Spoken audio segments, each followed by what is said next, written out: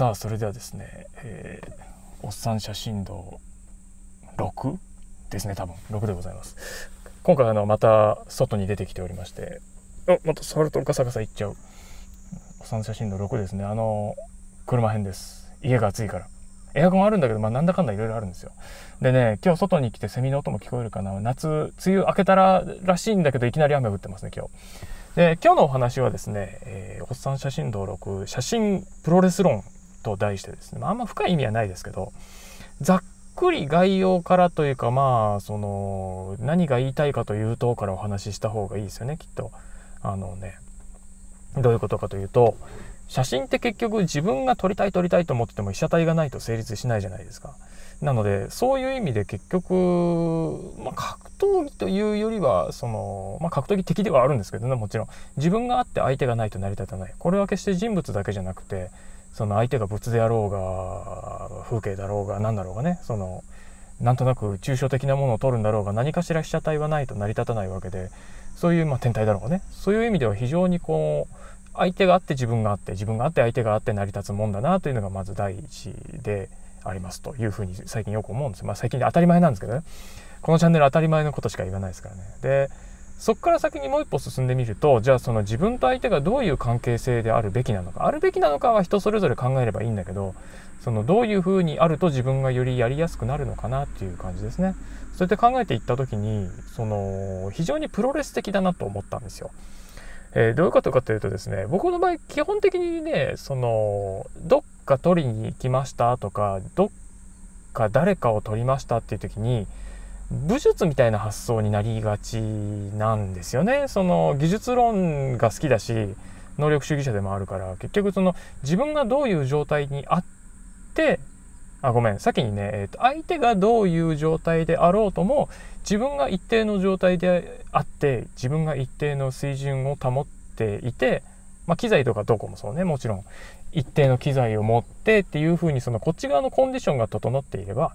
一定の写真を撮れるんじゃないかっていう発想になりがちなんですよ。どうしても。僕はそうなりがちです。でそういう人もある程度いると思うんですね。でそれってね半分なんですねやっぱり。改めて考えてみると。その自戒を込めてね考えてみると。なまあねもちろん皆さんご想像の通りですね。その写真は半分はあちらさんのレンズの向こう側で受けることなのでなので写真のスキルの中にあちらさんをどうコントロールするかっていうのは入ってくるんですよやっぱり。まあ、簡単に言うとモデルさんが気持ちよくなるようにねいい表情してくれるようにいい環境を作るとか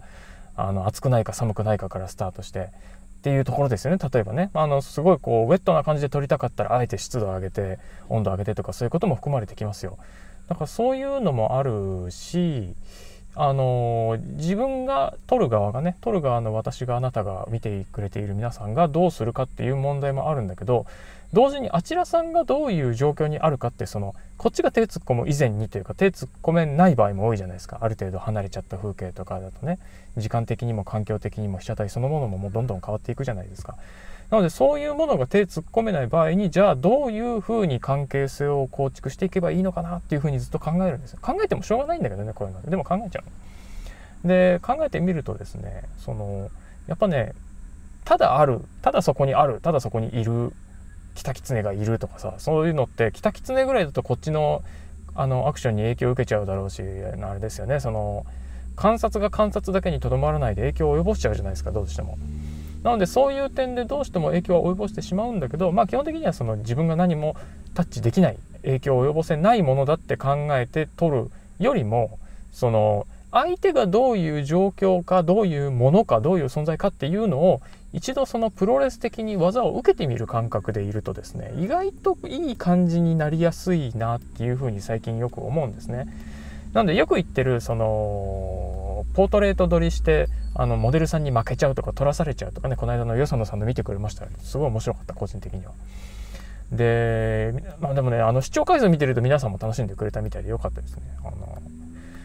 見てるとですねそのモデルさんに負けちゃうモデルさんに取らされちゃうっていうのはモデルさんのその強度が強くってモデルさんのエネルギーが強いって言ったらいいのかな、まあ、モデルさんの持ってるモデリングスキルとかその取らされるん？取らせることに慣れてるそのモデルさんの技能に技能を取る側が受け取りきれない場合に起きるんですよねそういうことって。なので今日話してるそのプロレス論は与謝野さんとお話ししたことの影響がかなり大きいと思うんだけどこういうのは日々ね進んでいくものですから。で自分がその受け取れるだけのそのフィジカルができていてもちろん受け取る技術っていうのもありますよねプロレスでね考えた時に僕も もちろんプロレスなんかできるわけないんだけどでも、まあ、話としてわかるじゃないですか。なので一度受け取ってみせてで相手をうまいこといい感じに見せてあげる例えば僕はあの盾をやってる人と去年一昨年ぐらいから友達がいっぱいできたんですけど盾もほら着る側はかっこいいんだけど暴れん坊将軍の暴れん坊将軍はかっこいいでしょ？徳川吉宗だっけあれはお話としては。なんだけど切られてあげる人がいないと引き立たないわけじゃないですか。よく言うあのヒールが実は一番難しい論ね。あの悪役が一番難しい論と一緒であのヒーローショーなんかもそうですけど。あの悪いやつが悪くないといいもんがいい側で引き立たないわけですよ。で写真撮る撮られるの場合はいいもん悪いもんは別にないんだけどどっちがいい悪いはないしどっちかがそのヒーローになっちゃいけないんですけどね仕事の場合はもちろん献身的に被写体が良くなるように尽くすんだけどあのでもそうやって考えた時にあの相手が引き立つようにこっちが一度受け取らなきゃいけないんですよどうもね最近考えると。だから相手が物言わぬ何かであってもやっぱり簡単に言えば相手のいいところを引き出す技術っていうか引き出すやっぱり、まあ、見立て力と言い換えてもいいかもしれないけどいいところを引っ張り出す力風景だったらこのカーブが最高だなとかこの色が最高だなとかいろいろあるじゃないですか。色がいろいろって言っちゃいましたね。でそういうふうにその相手が一番いいところを引き出して自分の側で受け取ってそれを構図なり何なりに落とし込んでそれが一番いいのがこういうふうに見えた時だよっていうのを見せるわけでしょ？プロレス的ですよねそうやって考えると。なので武術的な発想でいくと宮本武蔵的な発想だと思うんだけどその相手がどうだろうが相手を突き崩しに行って自分は無傷で帰ってこれるのが最高じゃないですか。でそれが名誉につながるのが最高だけどそこはやっぱ愛情はないわけですよね相手にはね。そういうこと言ってると死んじゃうからね自分が。あのやられちゃうので。そういう発想あのね技術を鍛えて自分のコンディションを保つっていう意味では写真も非常に武術的な発想をするのありだと思うし基本的にそういう発想に僕もなっちゃう人間なんだけどやっぱ写真はでもやっぱ愛情なので突き詰めると突き詰めるとっていうかま根本がそうですよね。なんで何かが取れないなとか何かがそのうまく取れないなっていう時は相手と自分の間でその何て言うのかな交換できてないっていう感じなのかな相手のいいところ人間が被写体の場合は向こうは向こうは向こうでいいところを出してもらわないと話が始まらないし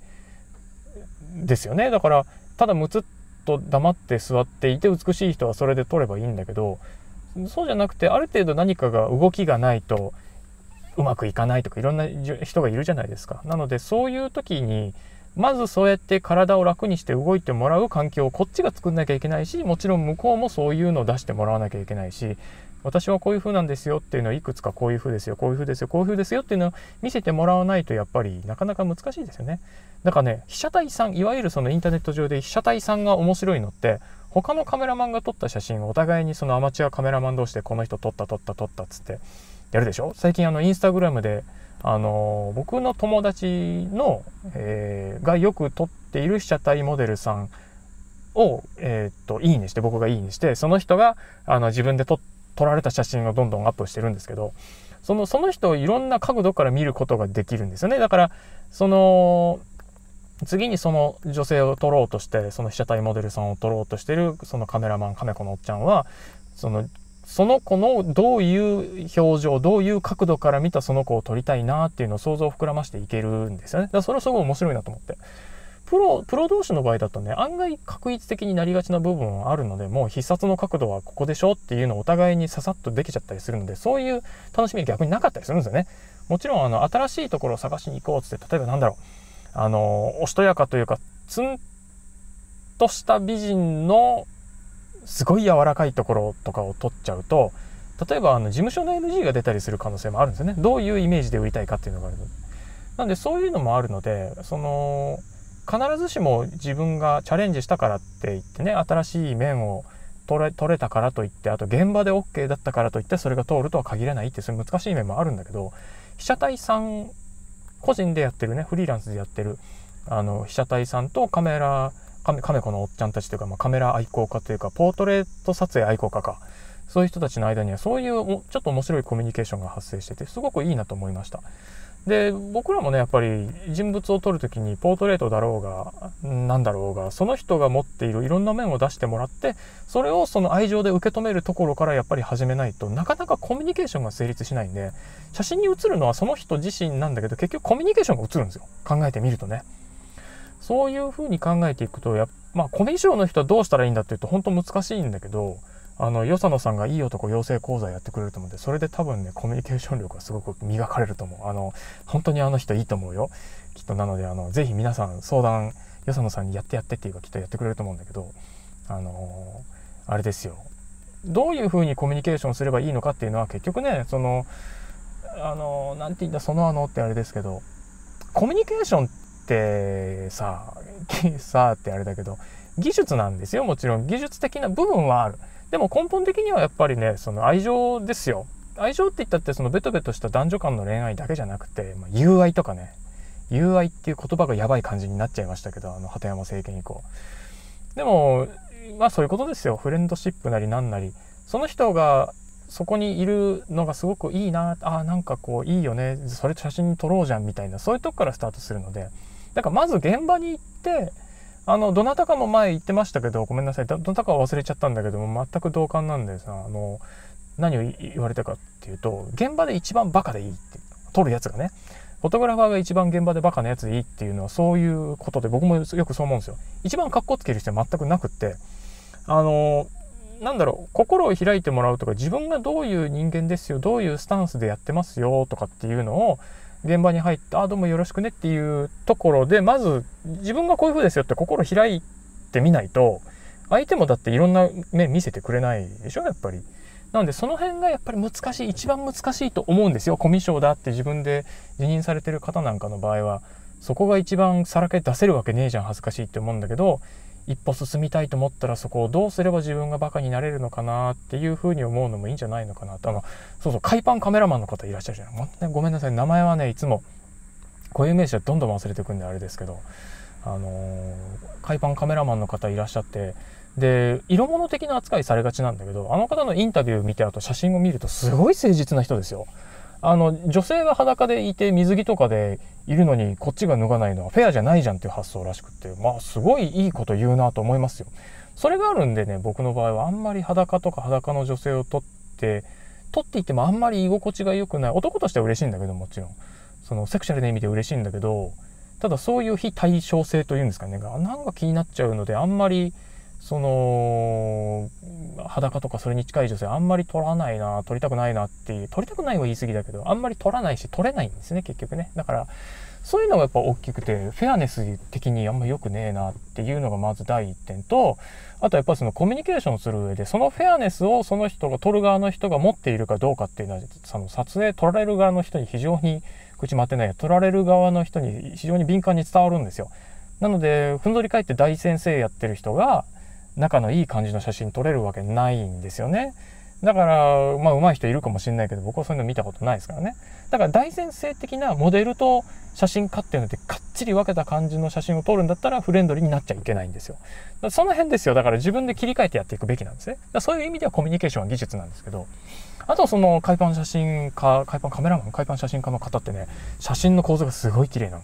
だからね、ただ単にエロを取ろうとか、ただ単にその、いいようにその女の子を使って自分の商売に役立ててやるぜとか、ただ単に自分の写真を見る読者、あの、ヤングなんとか系の雑誌とかね、そういうのに、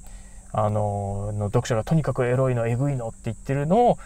に見せてそいつらに喜ばせるために撮ってるんじゃなくて本当に美しいものとして女性の体を撮ってなおかつそのある程度商売上期待されている部分っていうのは果たしている感じがしてね僕の勝手な印象ですけど。だからやっぱり写真見ると女性のじの体、まあ、人体ですよ。女性も男性も変わらずに。人体を美しいものとして捉えるているかとかっていうのはやっぱりそれは撮った側で一発で伝わっちゃうので。その辺がねやっぱりねあのー写真家なのかただのエロカメラマンなのかっていうのの違いでもやっぱり出てくると思うんですけどそういうふうにお互いに向こうが発する向こうが順序を立てていくとまずこっちが心を開いて受け入れますよあなた受け入れますよってとこからスタートしてすごい変なセミナーみたいだけどもねもね本当そうなんです。こういうふうに、まあ、私こういう人間です。ばっかですでいいです。であの別に寒い逆とかいらないからね。こう吹いてプーピロピロとかそういうのもいらないですからね。まああの脱線するけど小学校の撮影をね45年前までしてたんですよ。あの請負でね。そういう時期だけカメラマンいないかってブワーっていろんなとこからあの営業写真館がいろんな小学校と提携してるんですね。地域の小学校と提携してるから同じ日に小学校って入学式やるでしょ。だからそういう時に一斉にカメラマンがいらないいないからそういう時だけあのカメラマン呼ばれてよく行ったんですよ。ギャラ安かったけどね。そういうとこってやたらと安いの。普通さカメラマンがいなくて呼ばれるんだったらギャラ市場的には上がるんだけどね。そういうもんなんです。だから僕嫌になって辞めちゃったんだけどあのそういうとこで呼ばれて行った時にその子供たちの視線が集まらないんですよ。子供だからしょうがないよね。子供と親と一緒にとって親の視線が集まらなかった時は僕は早々に諦めましたけどあの子供の視線が集まらない時みんな手替え品替えやるんだけどあのあれですね。押すとピーってなるアンパンマンとかあってそういうの買っていったけどあ全然反応良くねえなっつって心が折られたことがありましたけど、まあ、そういうふうにですねいろんなコミュニケーションやり方あるんだけどまずごめんなさい無理やり戻すけど順序としては、えー、まず自分が心を開いてどういう人間ですよっていうのをいっぺんその投げてみないと分かんないですねモデルさんも。いっぺん投げてそれを受け取ったモデルさんはなるほどこの人はバカだからある程度自分を見せてもいいんだなってちょっとだけ心を開くなちょっとだけね。でそうするとちょっとそのガッチガチのそのペルソナ的なさその対外的な顔だけじゃない面倒くさいおじさんとか世の中いっぱいいるからさ変にいきなりいい顔見せちゃうと面倒くさいわけですよ付き上がって。なのでそういうのに対しても大丈夫な仮面から一歩進んで、あ、この人はちょっと大丈夫なんだなんだなって思ってくれたらもうちょっとだけ柔らかい顔見せてくれたりとかするんですよね。で、それをそれで見せてくれたら、あ、それが最高だわ。つってそれを受け取って、もちろん、なんて言うんだろうね。そのいい感じに写真に収めてデジタルだから見せられたりとかするじゃないですか。って言ってお互いに投げて投げて技の応酬ですよ。そうやってお互いに高め合っていけるのが一番いい撮影だし、逆に僕の場合はね、プロのモデルさんでもね、その素人さんって言うとあれだけど、アマチュアのモデルさんであっても、そういうコミュニケーションができる人がやっぱり一番撮りやすいし、そうじゃないと撮影してもね、意味ないでしょ。だって写真館じゃないんだからさ。って思うんです。だからもしもモデルさんで見てくださってる方がいらしたらですね、撮る側はこういうふうに思っているので、なのでね、あのーよくね、ドコモさんとかでいるんだけど、ドコモで変に経験ある人とかでいるんだけど、あの、研究し尽くしてて自分の顔を。で、鏡で見たこの角度だけしか撮らせませんみたいな人がいるんです。コスプレさんとかでもよくいますよね。あの、100%同じ顔の人。オバマ大統領とかパリス・ヒルトンのやつでもよくあの、自負動画でありましたね。あの、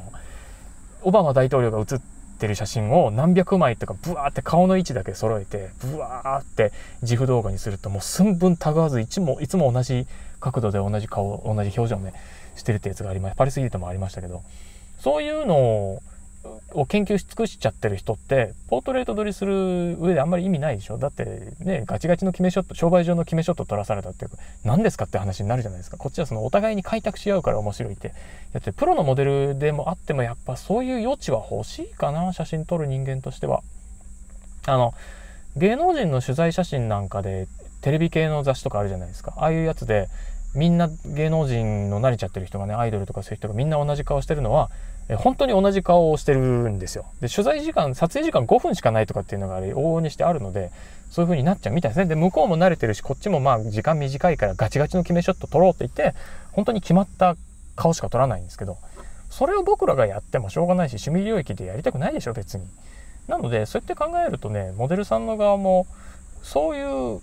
あの全部が全部全員が全員のカメラマンに心を開いてもうどんどんどんこの変わった表情を見せろっていう意味じゃなくてそういうふうに思ってるよと思ってもらうだけでもいろんな表情が撮りたいんだよと思ってもらうだけでも非常に僕としてはありがたいなと思うしそう望んでる人も多いですよね。で大体その心の垣根を崩してなかなかお互いにこうガッといいところまで踏み込めないっていうので、まあ、恋愛とかと一緒なので何て言うんだろうねあのすごくいい人だな素敵な人だな例えば僕が例えば女性に出会って独身の頃にねで素敵な人だなと思っても踏み込めないことがほとんどなんですよね。だからそこは技術どうこうじゃなくて相性の問題だからそのよくねそのあのよく動画撮ってくれてる兄貴もそうなんだけど まず出会いの機会はたくさん持った方がいいし出会いの機会がたくさんあった中で当たり外れって大体一発で決まるじゃないですか。なんか、なんでかこの人といると相性が良くて、その楽になれるなとか